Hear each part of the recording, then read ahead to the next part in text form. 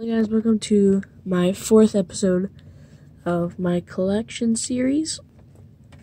And today we have a Polaroid for a 20 automatic Land camera. I think that's what it is. So this is old, probably from the 1970s, I'm pretty sure. And I'll open up later, but it has a strap so you can carry it around your neck or whatever. And right here in the back, well, this is where you look out of. This is where the battery goes. So this actually needs a battery. So it opens up. It requires a 3 volt battery. It says 3 volt battery, 3 volt or equivalent. I don't know, equivalent, like, I don't know how you can, I don't know. Okay, but down here at the bottom of the camera, there's a little switch. So we're just gonna slide that this way, and this thing unlocks.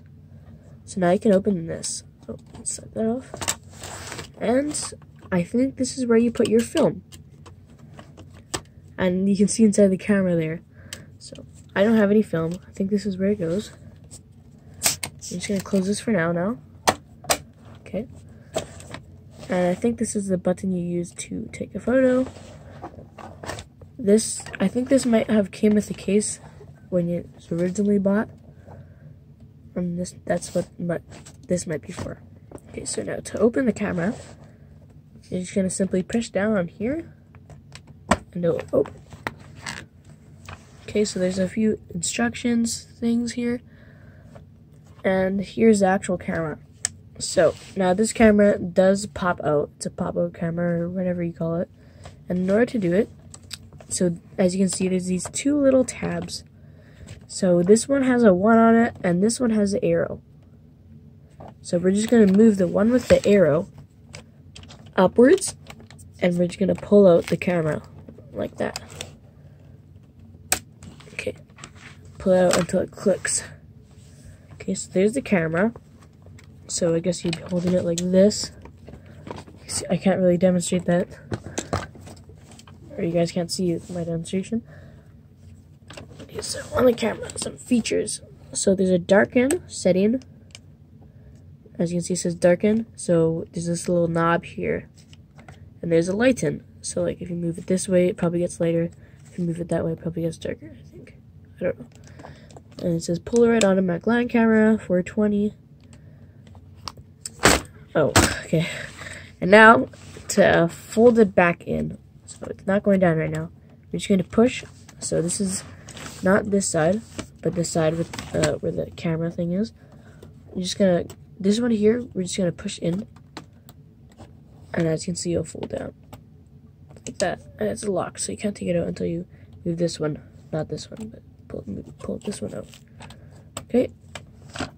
See, but if you don't pull it out all the way till it clicks, it just does that. Okay. So, this is Okay. I don't know. Is that everything? I don't have film for this. Oh, this is the focus thing. So if you noticed, I think that there's... Let me open it one more time. Okay. Yeah, there's a little camera here. So there's a camera and there's a little camera here too, or whatever that is. And I think that's for the focus, because it says focus here. This is your view. So I don't know how the focusing works on this camera. I have never taken a photo on this using this camera.